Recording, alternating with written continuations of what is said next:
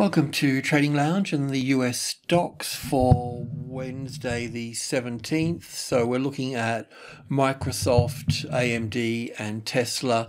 And we'll also look at um, Home Depot as well. Um, also, I think I'll scoot through these quite quickly, and I think that we'll just have a bit of a recap of um, Alibaba, Alphabet, Amazon, Apple, um, and a few of these, those ones we've been looking at earlier this week as well. Now, with this particular stock here, um, it's possible that the wave one here is sitting on top here for this, um, just to sort of let you know that, and uh, we don't need to go there just yet. This particular uh, instance here, in most of the markets, we're looking for an A wave down, a B wave back up, and a C wave down here before seeing a move to the upside. Any move to the upside here will just see the first high above the level and then a then a correction here and then up from that point okay? Um, it's possible that this market can just push straight up from here as well. So we just want to have a look at that uh, um, today as well. So we're also looking at being long in this uh, position here and to exit uh, at the 200 uh, here. Um, hopefully that you've gotten out a little bit earlier than that because I'm, I haven't been um, I haven't got my processes in place to update everybody yet for these sorts of things, but normally when I'm going for a large number as such, I'd always move out um, before that anyway, um, and normally at number eight. So normally at 98 that I would be looking to get out uh, in, in that case, because eight's always a profit-taking number. And I mean, if you're there at the desk, it doesn't really matter, but if you have to, if you're setting and forgetting, then number eight before a large number, it could be 48 here um, and so on because then you'll be in the first wave of, of coming out of those. So, um, yeah, so I'll just leave that for the time being. Now, as you know, in a lot of the cases, we've been looking at the move down here in uh, in five waves. Now, uh, there are instances like Amazon, for example, that we can count this down in three waves here that means that um, we'll have a look at Amazon again as well, uh, that it can push up higher from that point. If it was going to move down, then it would pretty much move down from roughly the 61.8% mark here. So it's flickering around, you know, and pushing a little bit higher up into the next Fibo number and so on. So it can uh, move down from here, but making another high here would see this market push up higher from that point because it'll be getting support on the 61.8% mark at that point. So um, if if this market um, takes out, say, this high here, then we'll see it up here. But otherwise, if it can't do that and struggles here, then we'll see five waves moving down into this space here and then up from that point. And then we can call this wave four. And in most cases, we're looking at that as wave two in there. But either way, it doesn't really matter that much. Um, so if it drops from that point, you'll know where we are. I I don't know if you want to trade against the trend, not such a great idea, but um, I'll leave that with you for that. And ADM is next. So I'll just go to the daily chart first for this one. So what we've been looking for here is from wave four here, we're looking at one and two and three here, and then an A, B, C, D, E for four here. Now, um, it has made a new high here above this one here, but it's pretty pathetic. Um, so we could look at it in two ways. We could look at it as five of one being done, and then we would look at it in terms of an A wave down here, a B wave here, and a C wave to fall down to this, this space here. Otherwise, we can look at it with wave four um, sitting over in this space here and having a larger triangle, in fact. So an, uh, an A, B, C, D, and E wave sitting over here for wave four. So that works as well. Both counts work um, reasonably well. This is the other count here. So an A, B, C, D, and the E wave here could still certainly be moved over to this space here to have one more move down in this regard as well here for this and then a move up from that point. Now if it is from this point here, um, so you're having wave 5 there um, at the top, just, you know, it just looks, looks like three waves, doesn't it? It's very difficult to get five waves out of that particular structure. So also what I want to point out here, we don't want to miss any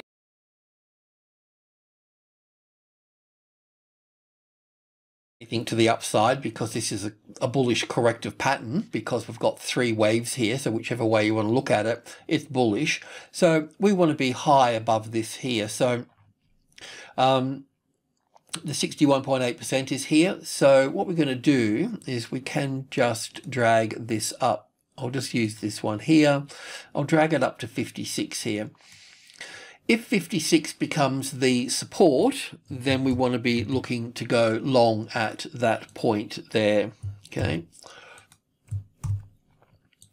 Um, 56 as support a nice tested support sitting on that can take us long. So just in case we, in case I miss anything, you know, um, but otherwise we'll see this pull back into here. This it does appear to be an impulse wave down here, so an A and a B and a C coming into this space would pretty much do the trick. It may even pull down a little bit further, um, but certainly get support on on these lows here for that before we see a push up. So we're looking for a push up we just need the right space to do it. We don't want to miss it. So if we get support on 56, um, a classic trading levels pattern, nice tested support. Trading above it's not good enough, like this instance here. So we've got this high here, for instance, so we can go long above the second high here. So we're looking for it to get up there and sit up there and give us you know the the high and the second high and we can go long on the second high in that in that instance and um, Tesla is the next one. So, so Tesla's hit um, a thousand, as you very well know, and um, counting up here for this, uh, I just don't think it's finished. So, um, first of all, our trade, we were long here, and the idea was to uh, take profit at 1000 so hopefully that's all done and dusted and locked in uh, there. So we don't need that now. Now the move down here and the move up here this move up here appears to be uh, impulsive. So um, let's just check this out a little bit further. I have to go to the tick chart I think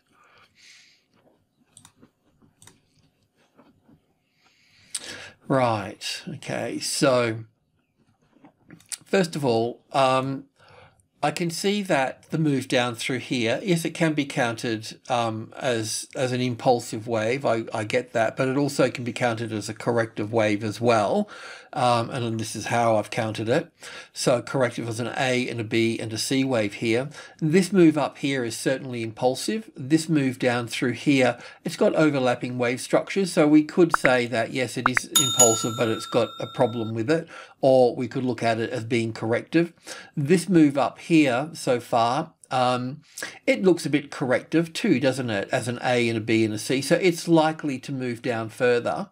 But what I wanted to say here is that we can go short if the nine, because we've got group two here, 65, 72 and 80, and it's supporting the market here. Um, as I've mentioned um, in other times is that um, uh, group two and group one above here. So if I move these guys here, group one would be 10 here, and I'll just borrow this one for 20 here and 30 here. So that's group one. So group one and group two like to hold the market in place to this number here for, as such. So um, if this is corrective here, then if this low here is breached, that makes it corrective at that point. Okay, that, that would say if that was breached, that would leave that standing there as three waves. So if that's the case, then we can just move this trigger here. I'll just extend it out a little bit. And so we really want to be looking to go short um, on the on the low of that. That would confirm a move to the downside at that point. But don't forget, it may not go very far. It may just come down into this 61.8% as an A wave, a B wave, and a C wave into this area through here. Any long trades here would need to be above if we take that high and that low there, this is the 61.8%. So we really need to be above that for that. So you need support on that level and you can see that it's uh, important. So a nice tested support on that would put you long to the upside and just trade up to a thousand, get out and the market would vibrate there for a while and we'll look for another setup on that side of it. But um, uh, I've got to go with the general market at this stage, so we'll look for um, a bit of a short trade, but it may only bring us down to this point. Technically, if we were looking at this as five waves down here, um, in line with the S&P and all the rest of it, well, then we will end up back down at the 900 here, so the short trade's okay at that point. Um, so that covers those. We want to have a look at Home Depot as well. So I'm just going to bring it back out to distance that we can see it. So um, on this intraday chart from the low here, we're counting up as one and two here, and then all the way up here for wave three here. And I know that we could probably call it wave one as well again, but um, just steady as she goes, not going to make a lot of difference.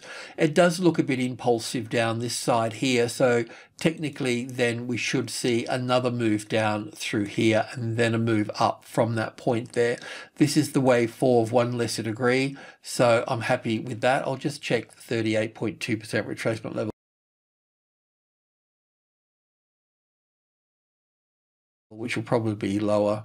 Yeah, it's a bit lower in this space here. So um, I can see that it works with the trend, so this one here would be uh, viable. So, you know, the, the question is, is that in five waves or three waves for that? The other main point here too is that um, we're in a bullish trend. So if we get support on top of 250 here, then we want to be looking to go long at that point. And to get support on that um, on that level there, we'd be looking for the classic trading levels pattern which you start should know by now, which if that's the 250, the is it 250? 250. If that's the 250 here, we've got the arrival at the moment, just getting here, a reaction, the first high above the level, a corrective pattern, and then support. That's what we're looking for. So in this instance here, um, we've just, if I can just draw over here, we've got the arrival, the reaction, the first high above the level. And then if we see a little thing like that, then we can go long over there. That's what that green thing means there. Uh, and then if that's triggered, then we can go to, to the upside. But otherwise, we'll be falling to the downside in that instance there. So um, I want to cover some of the other ones. I want to cover um, Alibaba here. So this is kind of interesting because, you know, most of the markets have fallen down and we're looking at them as impulse waves, but this one here has moved up and it's just you know, touting these highs here. It may not make a new high here, and it may be, you know, the A wave, the B wave, and the C wave down through to here. But at the same time, um, you know, we need to look to be able to go long on this. So um, I'm just going to drill straight into the tick chart at that point. And what we can uh, see here is, um, right, so this is another case here as well. Um, it's possible to count this down as, as an A wave, a B wave, and C wave for wave two here. It could be counted differently, but you know, it, it's not really displaying an impulse wave. This is more like an impulse wave, so we should be looking to go long um, above these highs here you know, there will be trouble at this old high here. So we need to do that dance up here, the arrival, the reaction which we're getting, we want the first high above the level, some sort of corrective move here, and then we can look to go long over here for that um, in that way. Sure, you can go long here if you wanted to. You can always put a line through there and do all sorts of things, but um, let's just get on top of this situation. So um, yes, this can be counted corrective. It hasn't made a new high above here just yet, so um, it could be a corrective wave up and this can be wave one down wave two and then working lower through here. So we need to be mindful, um, but getting support, breaching that high here makes this bullish. Okay, so just keep that in mind. That high is breached, then we'll be going up higher from that point, and we want to be we want to be on that market there. So we'll look to go long there. Um, Alphabet. So with Alphabet, we were, last time we spoke, just sort of on the tick chart here, we were looking for wave three up to here, wave five, and then we were looking for an ABC back down. So I'll just clear these up here.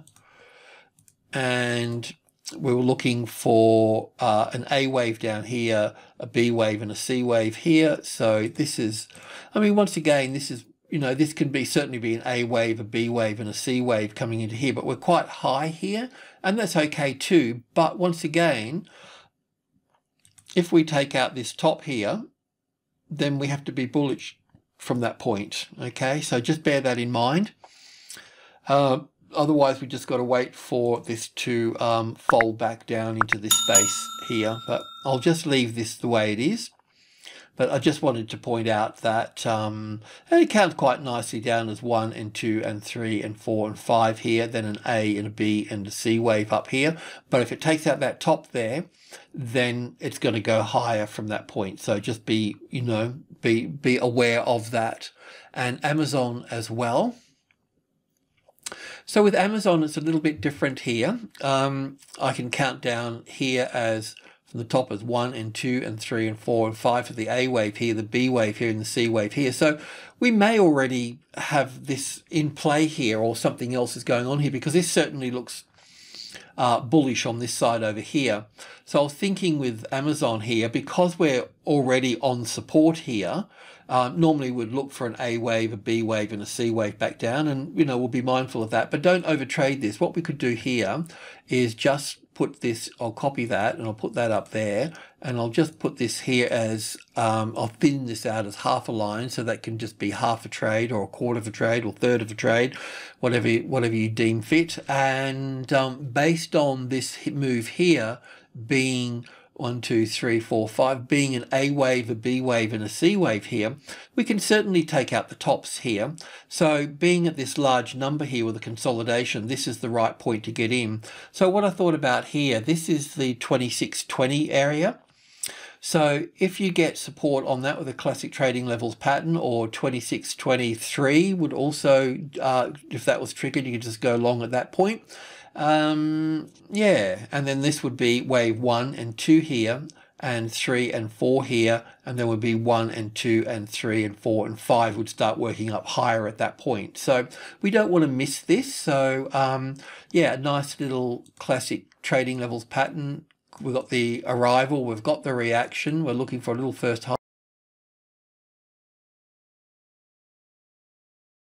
But we want that little high above the level here. We may get a second high here uh, and we can take that and then we're on our way. So just want to be prepared for that and being on the right side at the right time. And Apple, have a quick look at Apple as well.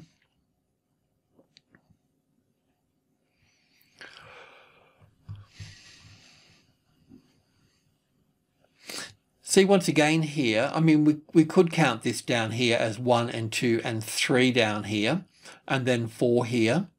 Um, or we could count it, I mean, it's, it's bounced really high for a wave four. So, um, you know, it certainly can be a corrective move. And, you know, I mean, we're way up here with, with all of this. So if you were long down here, I think obviously we talked about taking a percentage at that point. That's that's fine. Um, but uh, yeah, on the 350 here, um, there's going to be a bit of a struggle going across the top here, but I don't really see a problem with being long here off this, off this uh, 5 being the second strongest number. So I don't see any problem with being long off that. I'll just want to check a few things first. Yeah, I mean, that's what we were looking for uh, as an A and a B and a C coming back down through here. But if this top is taken out here, then we're going to be heading further to the upside. And um, we want to we want a pattern here that we can work with here for this. I just don't know if we got if I'm using the hourly chart here. Okay, so we've actually had some long trades in here, and um, anyway, we've been stopped out here. Hopefully that you've um, done a better job in there than than I have because I can't update it daily each time. Um, but yeah, so I've already looked at this situation here before. So um, yeah, we're still, I mean, far as I can see, we can still move up, um, move up higher from here. So as I mentioned, there's going to be problems at this old high here and on the 350 here. So give it a little bit of time here, but we should be able to go long again here. So um, I'll better leave that there so for a while anyway. Um, let's just go to the tick chart again. Let's just check this out here. I mean, this is, oh, that could be counted one, two, three, four, five here, ABC here.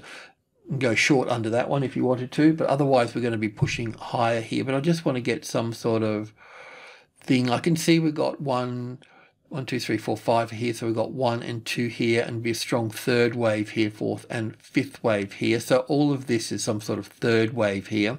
Then we've got this one here. So one and two and three and four and five here. I'm not sure if we should include this spike up here and back. Probably one and two here. That would leave us to this high over here. So we'd still have one more little high to go here. So we're going to see um, you know, if this is going to push higher above here, I can't draw over this side, then um, what's the best way to approach this? Let me just double check this again.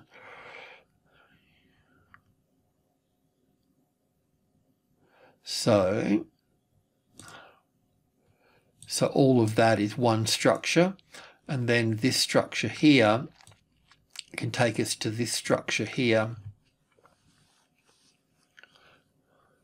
not a very good fifth wave, but I can see that it can be finished in here with a extension in the first wave here and two and third wave, fourth wave and fifth wave. Not good, but um, that's the funny thing with these stocks since I've been tuning into them. They've really got their own, they're, right, they're in their own world, that's for sure. Um, yeah, this old high here is going to be. I mean, if we were sitting on top of this here as support, then that would be that would be the place we'd want to be here. So up here, back again, up here, then a corrective move here, then that high here. That's the safe trade here at that point, sitting on sitting on this old high here, buying before this what it does, it just burns up time. And if you've got CFDs, well, then you're burning up money. And if you've got options, you need to be well, uh, got to get this straight. The you know the European options are different from the American options, so uh, different strategies and so on. But look, there's going to be time spent here for this. So we'll just keep an eye on it, but just bear in mind that even with the S&P 500 and all the rest of it, um, you know, we can count five waves down, but it may not be the case when we're looking at these stocks here that are actually driving the indices as well, you know.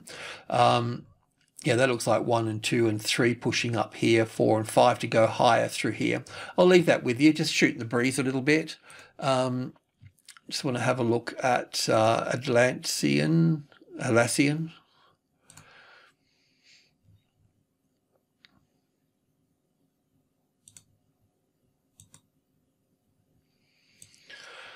Right, okay, so Last time we spoke, we're looking at one and two and three up here, and we're looking back for four. I just figured four was really quite small compared to the previous wave four. So I don't even think this is wave one here. I mean, it certainly could be, but, um, and this here is an A and a B and a C works okay. So there could even be one more move down through here for this. But I'm thinking this wave four could still still be over here for this It's a bit messy, but either way, not to worry. We're going to make sure that we're if we're going to make sure that we're long above the 180. That was what we spoke about before, so I'll just leave that where it is. And um, I'm not going to put this short trade thing in here because if it moves down here, it's only going to bounce off this here. So um, we'll just stay on the right side of the trend and we'll just buy new highs and this correction as a wave four now has got the right look and perspective about it compared to the previous wave four here.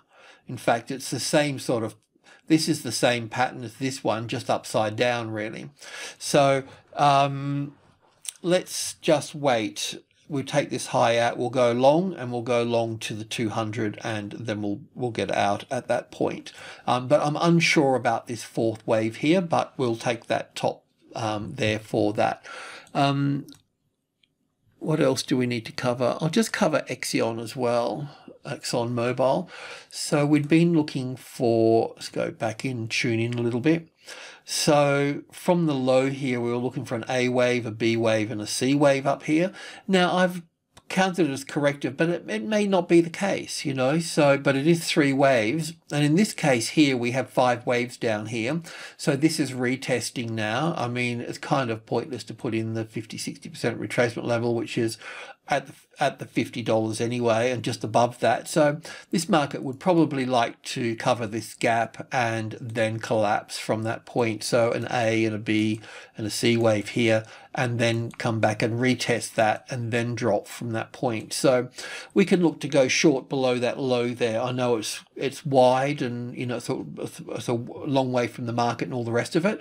Um, but at minimum, this move here, if it, it looks impulsive to me because wave one here and wave five are quite small and wave three has got all the action in it.